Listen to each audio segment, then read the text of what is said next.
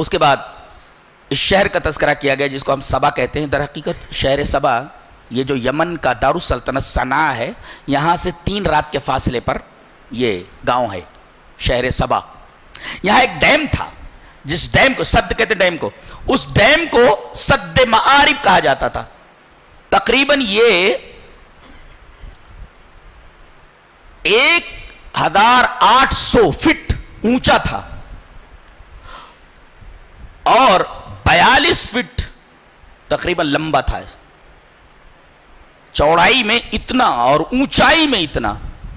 और इन्होंने पहाड़ों को काट करके पानी उसी में आने का रास्ता बना दिया था, हमेशा डैम भरा रहता था। और ये लोग एक वादी में रहते थे और 300 मुरब्बा मील के ऊपर ये पूरी की पूरी आबादी इनकी थी। ये वादी में रहते थे और वादी के दोनों किनारों पर गुंजान बागात थे। अल्लाह तबारक व ताला ने इन्हें ज़बरदस्त नेमतों से नवाजा था। हर तरीके के फल इनके बागों के अंदर मौजूद रहते थे। हमेशा इनके बाग फलों से, फूलों से भरे रहते थे। और एक बलदतुन तयबतुन और अब्बुल गफूर, यहाँ भी कोई कीड़ा नहीं रहता था। जैसे मच्छर, खटमल, बिच्छू, सांप, यानी फजा इस तरीके की थी कि जहरीली चीज़ें जहरीले कीड़े यहाँ इस फजा के अंदर ज़िंदा नहीं रह सकते थे।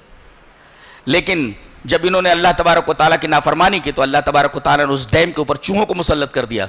और डैम कमज़ोर हो गया और पूरा का पूरा पानी इनके बागात की तरफ़ चल निकला और इनकी पूरी की पूरी आबादी तबाह बर्बाद हो गई और सारे के सारे बागात तबाह बर्बाद हो गए।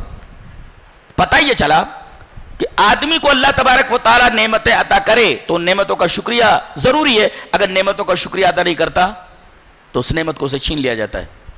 अल्लाह ने हुकूमत दी थी। कितने सौ सालों तक हम लोगों ने यहाँ हुकूमत की। अल्लाह तबारक ताला का काम उन्होंने किया, सब कुछ किया उन्होंने। अल्लाह का काम नहीं किया उन्होंने। इमारतें बनवाई, कब्रें बनाई, आशूर खाने बनाए। एक काम नहीं किया उन्होंने।